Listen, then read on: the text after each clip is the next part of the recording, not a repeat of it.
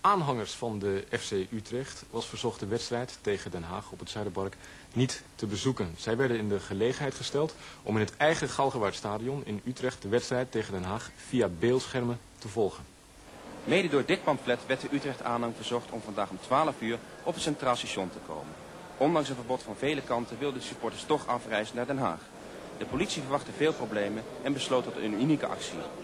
De supporters die toch naar Den Haag wilden, zouden daar niet uit de trein mogen en de reis zou dus verniet zijn. Op het station, de drukke station, zal ook Wim van Hanegem als praatpaal voor de supporters. Het advies is om vandaag niet af te reizen naar Den Haag. Wat doe je? Ja, we gaan uh, naar Haarlem Feyenoord.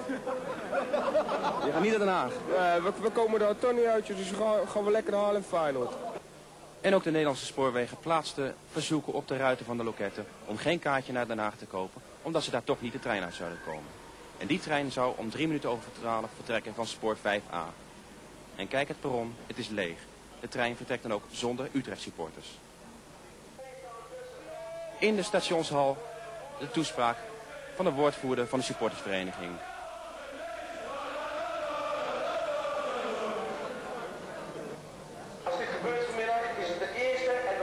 We laten ons nooit meer ergens het voetbal vandaan houden. Nooit meer. Duidelijke taal dus van de woordvoerder van de supportersvereniging. En dan, rond het middaguur nog steeds, de groep die in beweging komt.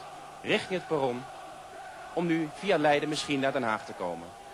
Een grote drukte, 200 man in die stationshal. En ook de trein die naar Leiden toe moet gaan, die is er niet en die zal ook niet bevolkt worden. Ik hoop toch dat we ze in de loop eh, van de komende uren tot rust kunnen brengen. Want het heeft geen enkele zin, de trein rijdt niet. Er gaan nu geruchten dat ze naar Haarlem eh, Feyenoord willen, ook dat hebben we ze ontraden. Ik denk niet dat we de problemen bij een ander neer moeten leggen. Ze liggen nog eenmaal bij ons op, op tafel. En laten we het beste van hopen, maar ik, eh, als ik dit zo bekijk, dan betwijfel ik of we ze naar het stadion krijgen. En ook de geblesseerde Jan Stroomberg, de keeper van FC Utrecht, was ter plekke om met de supporters te praten. Evenals Gert Kruis, langdurig geblesseerd. Het puinhoop, jongens. Ja, nou, ik ben er tegen om uh, bij welke wedstrijd geweigerd te worden, dat sowieso. Maar in dit geval, uh, het kan gewoon niet anders. Je kan wel eigenwijs zijn en uh, toch gebruik maken van de trein of een bus, maar er komt daarna sowieso niet in. Het beste lijkt mij gewoon om lekker rustig naar het stadion te gaan en daar een gemakje die wedstrijd te bekijken. Ja. Dat is gewoon het wijste. Rond kwart over één komt de meute weer in beweging en gaat nu Hoop Katerijnen in het winkelcentrum. Tot nu toe is het vrij rustig geweest en er zijn geen excessen gebeurd. Maar wat gebeurt er? De aanhang gaat te voet naar het stadion van de FC Utrecht. En ook hoofdcommissaris Wiarda van de politie van Utrecht loopt het hele stuk naar het stadion.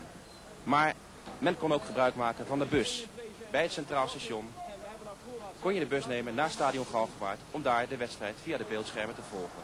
En het verliep niet altijd even riant.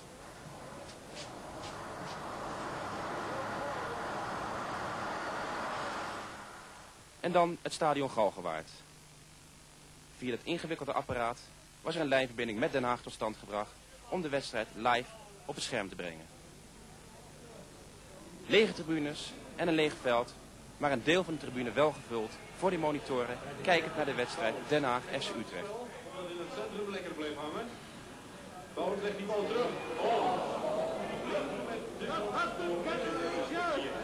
Nou, ik vind het wel een slaagd iets. Ja, dat moeten ze overal maar doen. Dat is prima.